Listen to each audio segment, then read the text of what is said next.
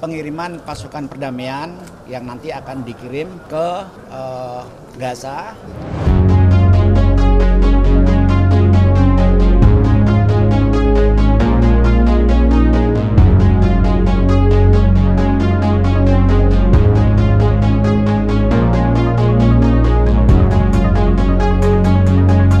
Masalah rencana pengiriman pasukan perdamaian yang nanti akan dikirim ke uh, Gaza.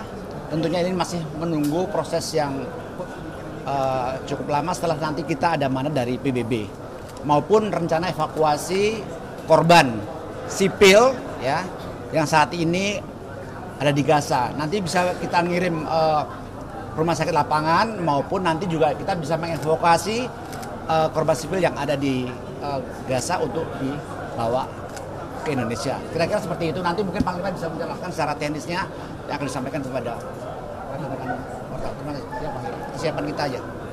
Jadi nanti kita akan membentuk uh, brigade komposit yang terdiri dari uh, batalion sport, batalion seni, kemudian batalion kesehatan dan batalion perbekalan di sana dan juga selain pasukan kita juga menyiapkan dua KRI, KRI rumah sakit, jadi uh, KRI Rajiman dan Suharso itu bisa uh, bisa merawat di dalam KRI, kemudian juga ada unit uh, darurat apa namanya uh, bisa operasi kelas 1 kemudian juga ada X-ray di dalamnya dan ada UGD di dalamnya.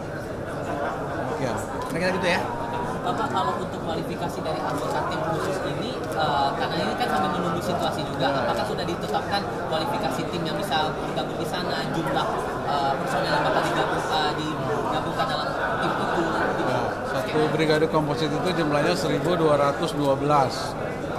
Tadi itu jadi uh, kekhususannya dia uh, kalau Yonkes berarti dia perawat, dokter, ya kan? Uh, kalau Yon seni dia bisa rekonstruksi bangunan, Yon back bisa memasak, mungkin kita buat dapur lapangan di sana.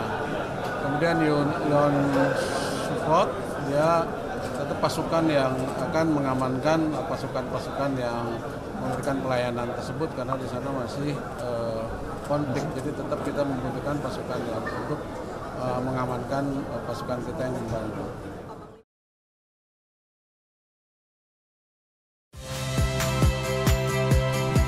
Saya Liviana Cerlisa. Saksikan program-program Kompas TV di siaran digital, pay TV, dan media streaming lainnya.